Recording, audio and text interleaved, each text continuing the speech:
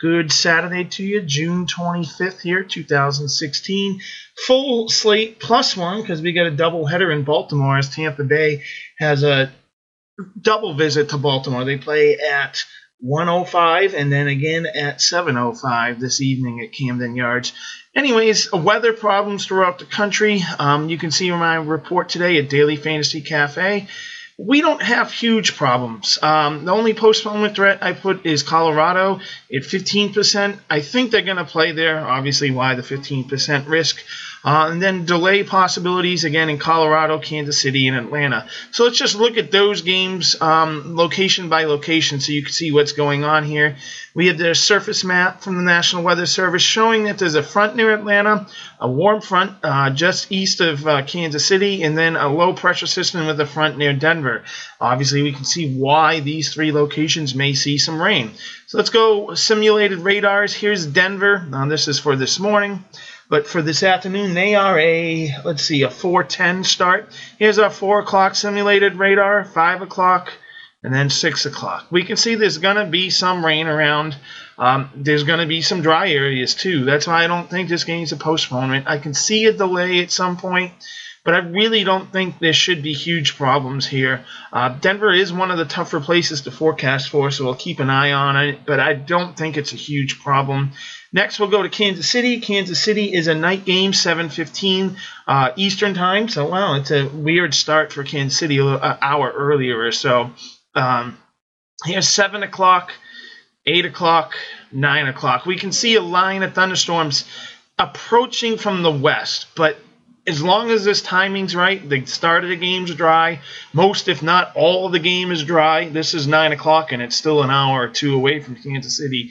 So we shouldn't have a problem here. The only issue would be if something pops out ahead of this line, or this line is faster moving in. Not overly concerned about that in either case. I think in my uh, in Daily Fantasy Cafe, I have a 20% chance of a delay late. So again, not a problem there really. And then Atlanta uh, just going to have the, some of the normal run-of-the-mill, widely scattered stuff that's oh so common, really. excuse me, in the afternoon and the evenings in the southeast. Atlanta is another 7:05 or 7:15, excuse me, start time.